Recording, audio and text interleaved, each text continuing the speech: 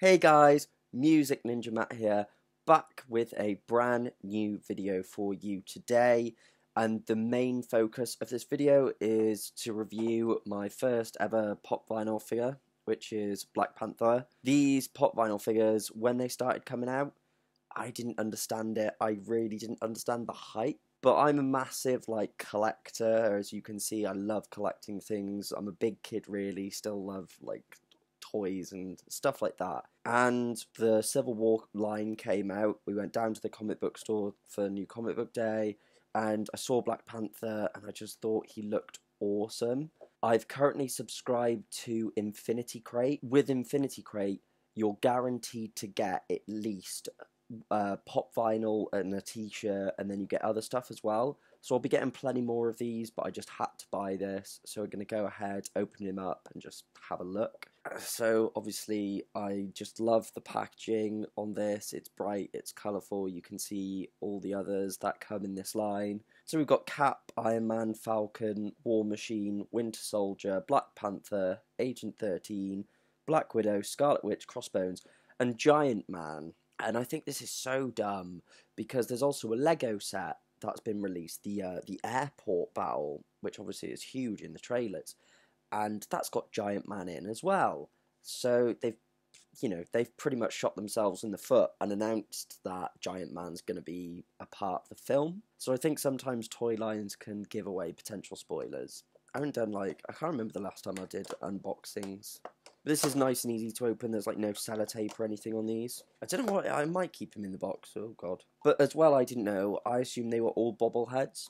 Apparently not. There's pop figures and pop bobbleheads. Obviously, Black Panther is a bobblehead. I'd much prefer him to not be a bobblehead. Like, for him to just be a fixed character like that. I think that would be awesome. Obviously, these don't have articulation or anything. Again, that would be cool as hell. I mean, these are around £10 each. So, you know, pretty cheap. And I love this. This has some really nice little details on him. Obviously, he's got all his vibranium woven into him. Just little details like that. Fun little thing you can have on your desk. I can see why these things are highly collectible. It's like I said, I'm going to end up with loads more of these. But yeah, Black Panther's my first one. I'm really excited for the Black Panther comic. Can't wait to see him on the big screen. Big character, in my opinion. Really love the way it looks, love the little details. I actually quite like the proportions on them. Um, do they stand up pretty easy? Oh yeah, they stand up fine, so that's cool as well. I didn't know if they were going to topple over or not. But I also wanted to show you guys as well. Like, I've picked up so many random toys, especially because I learnt where Toys R Us is. Because it's like I said, like, I'm the kind of person who I buy figures and stuff, and they're just, like, lying around my room, and I just like to hoard and collect them. But I've really been getting into, I mean, I love the Star Wars Clone Wars series up there is the box set for it, and I've got season one of Rebels as well, so just love that. But I got the Rebels reveal themselves, oh bollocking box set thing, because obviously I'm a complete and loser. And that comes with Ezra, Kanan, and Obi Wan Kenobi, like a hologram of him. On the packaging, it was like comes with a secret figure. There was actual blacked out plastic over the top of him but then if you read the back of the packaging, it says like Obi-Wan Kenobi's basically in this pack. Because like I used to get Star Wars figures when I was younger, and now the newer ones I'm not a huge fan of. With the old ones, you could like bend their elbows and their knees, their ankles. They would like very maneuverable.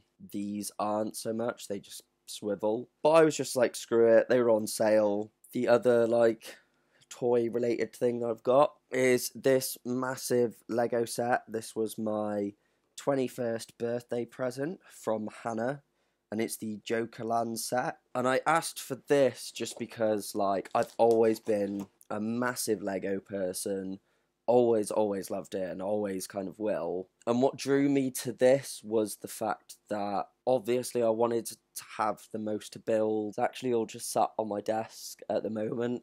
But it's because this comes with one, two, three, four, five, six, seven, eight figures, and then obviously you get the whole Jokerland set thing, the Batmobile, and I just thought it was cool. So yeah, guys, that's bits and pieces that I've picked up recently. Also, went to game today, and I've got a bag of game goodies, which I'll be doing a video on because it's all related to obviously a video game. Really, really itchy today. Don't know why. But anyway, guys, thank you for tuning in. I'll probably be doing more like unboxings of these guys because uh, when my Infinity Crate comes, I'll be doing Infinity Crate unboxings.